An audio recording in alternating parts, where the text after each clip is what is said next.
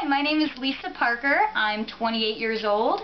I grew up in a small town in Central Florida called Auburndale. That's where I went to high school and met my current husband, Daniel. We met in chorus because we're both singers.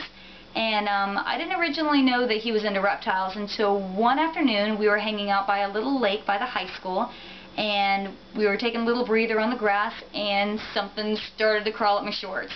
And I had to jumped like 10 feet. He grabbed it off my leg. It looked like a snake to me, but it turned out to be a, a glass lizard, which um, he explained was a legless lizard. And so I was pretty much into reptiles from there on out. We dated in high school and um, ended up going to college together at Florida Southern College.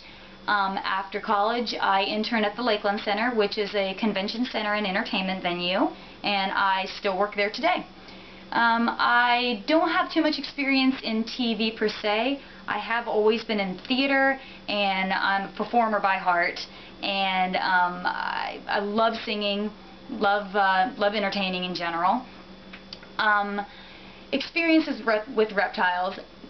Besides um, my pet lizard, my blue-tongued skink, um, most of the other reptiles have crapped on me a lot and I've been bit, I've uh, been pooped on, but it's actually okay. It actually um, made me more into them and made me less afraid of them like a lot of people I'm around are.